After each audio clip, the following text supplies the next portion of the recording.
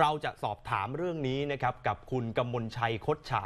ผู้อำนวยการสำนักบริหารพื้นที่อนุรักษ์ที่ 15 ครับ ตอนนี้เป็นการโฟนอิน ผ่านสายกับพวกเราที่ NBT นะครับ สวัสดีครับค่ะครับ สวัสดีครับ ค่ะ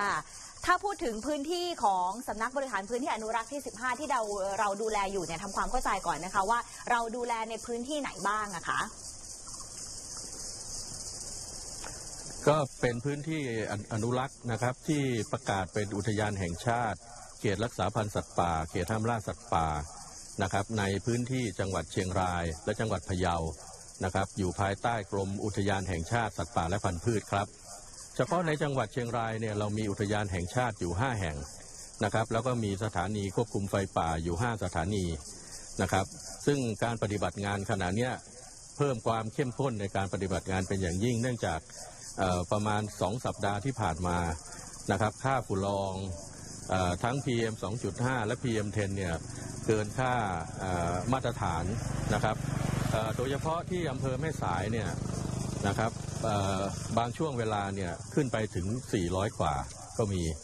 ซึ่งก็มีสาเหตุหลาย ๆ ประการนะครับ อาจจะเป็นฝุ่นละอองที่ข้ามแดนมาบ้าง แล้วก็เกิดจากหมอกควันไฟนะครับที่อยู่ในพื้นที่ ขณะนี้ฮอสปอตนะครับ เฉพาะในจังหวัดเชียงรายเนี่ยมีค่าฮอสปอตประมาณ 315 จุดนะครับเกิดในพื้นที่อนุรักษ์ประมาณ 100ประมาณ 113 จุดนะครับ แล้วก็ในพื้นที่ป่าสงวนแห่งชาติประมาณ 180 จุดนะครับ แล้วก็พื้นที่อื่นๆสำหรับการปฏิบัติงานเมื่อวานนี้นะครับ ท่านท่านผู้ว่าการจังหวัด เชียงรายได้เรียกประชุมหน่วยงานทั้งหมดเลยนะครับที่ดูแลพื้นที่ไม่ว่าจะเป็นอ่าสำนักบริหารพื้นที่อนุรักษ์ที่ 15 หรือสำนักจัดการทรัพยากรป่าไม้ที่ 2 เจ้าที่ฝ่ายทหาร เจ้าที่ตำรวจนะครับ รวมทั้งท่านนายอำเภอ ทุกอำเภอนะครับ แล้วก็ผู้นำท้องถิ่นเพื่อมาระดมความคิดนะครับ แล้วก็หาสาเหตุของการที่มีไฟป่าเกิดขึ้นเป็นจำนวนมากในช่วงหลัง ประมาณสองสัปดาห์ที่ผ่านมานะครับ แล้วก็ท่านท่านผู้ว่าการจังหวัดเอ่อเชียงรายก็ได้สั่งการให้มีการเฝ้าระวัง มีการสนที่กำลังนะครับ ของหน่วยงานที่เกี่ยวข้องเนี่ยเข้าไปลาดตระเวนในพื้นที่เพื่อกดดัน เนื่องจากว่าสถานการณ์การเกิดไฟช่วงหลังที่ผ่านมาเนี่ยจะเกิดกลางพื้นที่อนุรักษ์ ซึ่งเป็นพื้นที่ภูเขาสูงชันนะครับ กว่าที่เจ้าหน้าที่จะเข้า ไปเผชิญเหตุดับไฟเนี่ยก็ใช้เวลา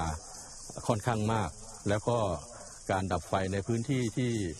เป็นภูเขาสูงชันเนี่ยก็ไม่ไม่ไม่มีความปลอดภัย ถ้าหากว่าเป็นช่วงกลางคืนนะครับ ฉะนั้นการปฏิบัติงานในช่วงนี้ท่านท่านผู้ว่าการจังหวัดเชียงรายจึงให้สนที่กำลังนะครับ แล้วก็เข้าไปกดดันไปฝังตัวนะครับ ไปลาดตระเวนในพื้นที่ใจกลางป่า นะครับ เพื่อให้ผู้ที่ไม่ประสงค์ดีนะครับ แล้วก็อาจจะเป็นราษฎรที่เข้าไปเก็บหาของป่า แล้วก็เข้าไปจุดไฟเนี่ยนะครับได้เกิดความเกรงกลัว ถึงแม้ว่าทางสำนักบริหารพื้นที่อนุรักษ์ที่ 15 เนี่ยนะครับได้มีมาตรการในการปิดป่ามาตั้งแต่วันที่ 15 กุมภาพันธ์ที่ผ่านมา ขณะนี้รัษฎรนะครับที่ลงชื่อเพื่อขอเข้าไปในพื้นที่เนี่ย นะครับจากสถิติที่รวบรวมไว้เมื่อวานเนี่ยประมาณหมื่นคนเศษนะครับ ซึ่งทั้งหมื่นคนเนี่ยก็คือราษฎรที่มีเหตุธุระจำเป็นที่จะเข้าไปในพื้นที่ของอุทยานแห่งชาติ หรือเขตรักษาพันธุ์สัตว์ป่านะครับ เมื่อวานนี้ผมก็ได้เสนอในที่ประชุมว่าอยากจะให้ท่านกำนันและผู้ใหญ่บ้าน หรือผู้นำท้องถิ่นเนี่ยซึ่งมีข้อมูลเกี่ยวกับอ่ารัษฎรนะครับที่มีความเสี่ยง ต่อการที่จะเข้าไปจุดไฟ หรือทำให้เกิดไฟในพื้นที่ป่าเนี่ยนะครับให้รวบรวมรายชื่อนะครับรายงานมาที่ท่านนายอำเภอแต่ละแต่ละอำเภอ เพื่อสอบทานดูกับจำนวนรายชื่อของอราษฎรที่ขอเข้าไปในพื้นที่ป่านะครับ ว่ามีรายชื่อนอกเหนือจากที่ขออนุญาตเข้าไปในพื้นที่ป่าหรือไม่นะครับ ถ้าเป็นราษฎรที่ไม่ได้ แจ้งรายชื่อที่จะขออนุญาตเจ้าหน้าที่เข้าไปในพื้นที่ป่านะครับ เราก็จะใช้มาตรการอื่นๆนะครับ ซึ่งหน่วยงานทั้งทั้งหมดที่เข้าไปที่เข้าประชุมเมื่อวานนี้ก็รับทราบนะครับในเรื่องการปฏิบัติในช่วงนี้ครับค่ะพออคะเมื่อสักครู่ที่ฟังบอกว่าเมื่อวานนี้เนี่ยจากการเข้าประชุมเนี่ยก็พยายามพูดคุยกันหารือกันถึงสาเหตุที่แท้จริงเนี่ยตกลงแล้วส่วนใหญ่จะเป็นจากฝีมือมนุษย์ไหมคะ ทั้งร้อยเปอร์เซ็นครับ เป็นฝีมือมนุษย์ทั้งสิ้นครับ ไม่ใช่เกิดจากภัยธรรมชาตินะครับ เป็นฝีมือมนุษย์ แต่ว่าการเกิดไฟเนี่ยในช่วงสองปีที่ผ่านมานะครับเเราสามารถควบคุมไฟได้ แล้วก็ฮอตสปอตเนี่ยเกิดน้อย เนื่องจากว่าผมได้ให้เจ้าหน้าที่เนี่ยไปลาดตระเวนในช่วงเย็นนะครับ กับช่วงก่อนก่อนที่จะมืดนะครับ เพราะว่าไฟเนี่ยมักจะเกิดในช่วงนั้น เมื่อเจ้าหน้าที่ไปลาดตระเวนร่วมกับพี่น้องประชาชนนะครับ ที่ท่านนายอำเภอประกอบกำลังเอาไว้ เมื่อเจอไฟก็จะรีบดับนะครับ ก็จะสาสามารถที่จะควบคุมไฟได้อย่างรวดเร็วทำให้ดาวเทียมเนี่ยไม่สามารถที่จะตรวจพบจุดกำเนิดไฟได้นะครับฮอสปอตเราลดลงไปเยอะนะปี 59เนี่ยจังหวัดเชียงรายมี hotspot 900กว่าจุดนะครับ พอมาปี 60 เนี่ย hotspot เหลืออยู่ 19 จุดนะครับแล้วก็พอมาปี 61 ที่ผ่านมาเนี่ย hotspot เหลือเพียง 13 จุดเท่านั้น แต่ขณะนี้นะครับ hotspot ของจังหวัดเชียงรายขึ้นไปถึง 300 เศษแล้วนะครับ ซึ่งจริงๆแล้วการปฏิบัติงานที่ผ่านมาช่วงเดือนแรกนะครับ การเผชิญเหตุรวมทั้งการวางแผนการปฏิบัติงานเนี่ยเป็นไปด้วยดีนะครับ เราเข้าไปลาดตระเวนนะครับ แล้วก็ มีการสนที่กำลังระหว่างเจ้าหน้าที่กับพี่น้องประชาชนที่ได้วางกำลังเอาไว้เนี่ยนะครับเข้าไปลาดตระเวน แล้วก็เมื่อเจอไฟเราก็รีบดับฮอสปอตในช่วงแรกเนี่ยไม่ขึ้นเลยครับ มีช่วงหลังนี่เองนะครับประมาณ 2 สัปดาห์ที่ผ่านมา แล้วก็สร้างปัญหาในเรื่องของอคุณคุณคุณภาพของอออากาศในจังหวัดเชียงรายด้วยครับ ค่ะคือพออคะคือฟังอย่างนี้เนี่ยเราจะเห็นว่าเจ้าหน้าที่จริง ๆ ก็ทำงานกันตลอดเวลา ครับและอย่างที่พออรายงานตัวเลขมาให้ทราบเมื่อสักครู่เนี้ยเพราะฉะนั้นครับปัญหาอุปสรรคหรือว่าความยากลำบากจนทำให้มันถูกปกคลุมไปด้วยฝุ่นควันอย่างเงี้ยมันอยู่ที่ไหนบ้างอะคะ เอ่อสภาพของหมอกควันที่ปกคลุมเนี่ยนะครับ เรามีสถานีตรวจอากาศในจังหวัดเชียงรายมีอยู่สองสถานี นะครับคือที่อำเภอเมืองบริเวณสำนักงานทรัพยากรธรรมชาติและสิ่งแวดล้อมจังหวัดเชียงราย และที่ตำบลเวียงพางคำนะครับที่อำเภอแม่สาย มีสถานีตรวจวัดอากาศอยู่สองจุด ซึ่งทั้งสองจุดเนี่ยจะเห็นได้ว่าคุณภาพอากาศที่อำเภอแม่สายเนี่ย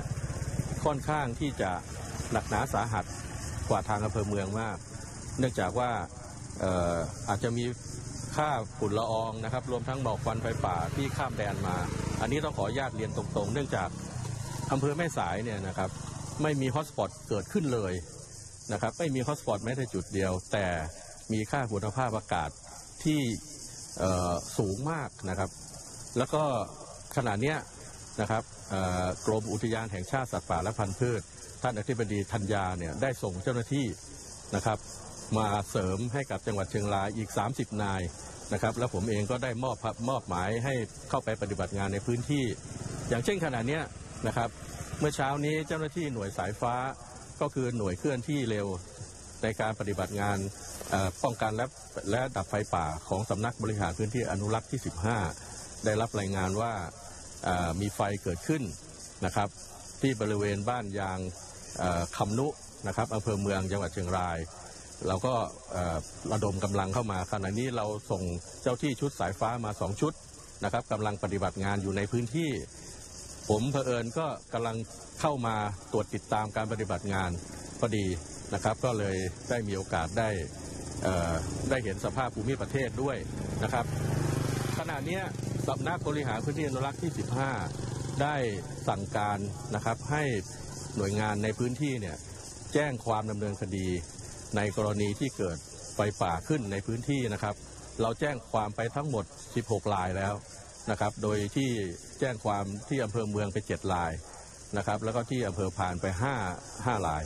นะครับครับฉะนั้นท่านผอครับต่อแสจากดงนี้ว่าไปสาเนี่ยเหตุนะครับส่วนหนึ่งการเนี่ยปฏิบัติก็งานมาจากครับ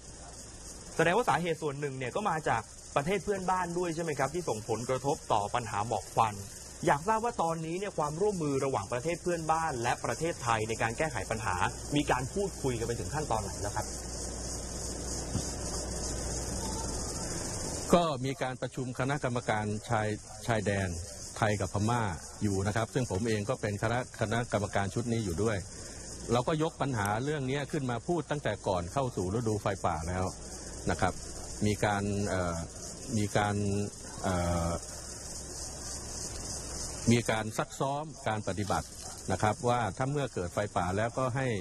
เจ้าหน้าที่หรือพี่น้องประชาชนที่อยู่ในพื้นที่เนี่ยเข้าไปดับไฟนะครับโดยโดยเฉพาะบริเวณริมแนวชายแดนเนี่ยนะครับ มักจะมีไฟข้ามมาจากฝั่งพม่า ผมก็ได้ให้เจ้าหน้าที่เนี่ยไปคอยลาดตระเวน ในปีนี้ก็ดับไฟไปหลายครั้งแล้วเหมือนกันนะครับ แต่ก็เนื่องจากเราเข้าไปเผชิญเหตุได้เร็วนะครับ แล้วก็ดับไฟได้เร็ว ทำให้ดาวเทียมเนี่ยไม่สามารถตรวจพบจุดความร้อนได้ ฉะนั้นอำเภอแม่สายเนี่ยจึงไม่มีจุดฮอตสปอตเกิดขึ้นนะครับค่ะค่ะพออคะคืออย่างที่เราติดตามกันเนี่ยเราจะเห็นว่ามีกำลังเจ้าหน้าที่ลงไปปฏิบัติการเยอะมาก ตอนนี้มีอะไรขาดเหลือไหมคะ เห็นบางจังหวัดเนี่ยมีการเปิดรับสิ่งของบริจาคเข้าไปสนับสนุนกำลังให้กับอาสาสมัครทั้งหลาย หรือว่าเจ้าหน้าที่ที่เข้าไปดับไฟป่าค่ะ ครับ เจ้าหน้าที่ที่ดับไฟเฉพาะของสำนักบริหารพื้นที่รักที่ 15 ที่ผมเรียนเมื่อสักครู่นะครับ เจ้าที่อุทยานแห่งชาติที่มีอยู่ 5 แห่งเนี่ยเรามีกำลังประมาณ 250 นายนะครับแล้วก็เจ้าหน้าที่จากสถานีควบคุมไฟป่า ซึ่งมีอยู่ 5 แห่งเหมือนกัน จะมีกำลังอยู่ประมาณ 270 นายนะครับเจ้าหน้าที่ทั้งสองฝ่ายเนี่ยทั้งทั้งทั้งทั้งสองชุดเนี่ยนะครับจะร่วมประกอบกำลังจากเจ้าหน้าที่ที่กรมได้ส่งมาเสริมให้ 30 นาย ปฏิบัติงานอยู่ในขณะนี้สำหรับขาดเหลือในอุปกรณ์เนี่ยเรามีความพร้อมอยู่นะครับ แต่ว่าก็ต้องขอบคุณนะครับพี่น้องประชาชนร้านค้าองค์กรต่างๆ ที่กรุณานำน้ำดื่มมามอบให้นะครับ ผมเองก็ไปรับมอบน้ำดื่มจากองค์กรต่างๆ ที่มามอบ รวมทั้งอาหารแห้งมีข้าวสารนะครับ มีปลากระป๋องนะครับ มีเครื่องดื่มชูกำลังนะครับ ก็ค่อนข้างเยอะ แล้วผมเองเมื่อเวลาลงไปตรวจเยี่ยมเจ้าหน้าที่ในพื้นที่เนี่ยก็จะนำเอาสิ่งของเหล่านี้ไปแจกให้กับเจ้าหน้าที่ที่ปฏิบัติงานอยู่ในพื้นที่ด้วยนะครับ ตอนนี้จังหวัดเชียงรายของเราก็มีพี่น้องนะครับที่เห็นการปฏิบัติงานของเจ้าหน้าที่อย่างเข้มข้นเนี่ยนะครับ ก็นำของมามอบให้ออยู่ตลอดตลอดเวลานะครับค่ะค่ะ เดี๋ยวยังไงวันนี้รบกวนท่านผอเพียงเท่านี้ก่อนนะคะ ขอบพระคุณมากนะคะครัท่าบนผอครับผมคะ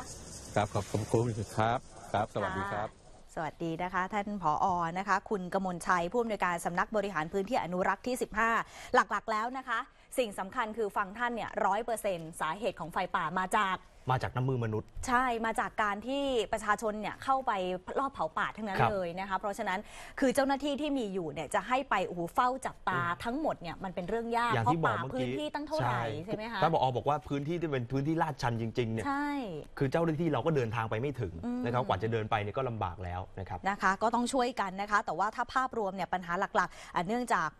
คนเนี่ยที่เป็นสาเหตุหลักและครับกำลังเจ้าหน้าที่ที่เข้าไป ถามว่าเจ้าหน้าที่ทำงานเต็มที่ไหมทำงานเต็มที่ แต่ว่าก็หลังจากนี้ไปก็จะมีการวางมาตรการเข้าไปเพิ่มเติมนะคะเพื่อเข้ามาลดปัญหาให้ได้มากที่สุดนะคะ ส่วนสิ่งของต่างๆ ที่หลายๆ คนถามว่าเจ้าหน้าที่มีเพียงพอหรือเปล่า เพราะว่าเจ้าหน้าที่ทำงานกันหนักอืมบางคนบอกว่าไม่ได้หลับไม่ได้นอนเลย แล้วก็มีได้รับบาดเจ็บครับจากการที่เข้าไปดับไฟป่าด้วยพอบอกว่าตอนนี้อะอามีความหาพร้รอม ถือว่าพร้อมนะ อาครับหารเครื่องดื่มอะไรเครื่องใช้ก็พร้อมนะคะ ตอนนี้ที่เราช่วยกันได้คือ อย่าไปเผาป่านะคะ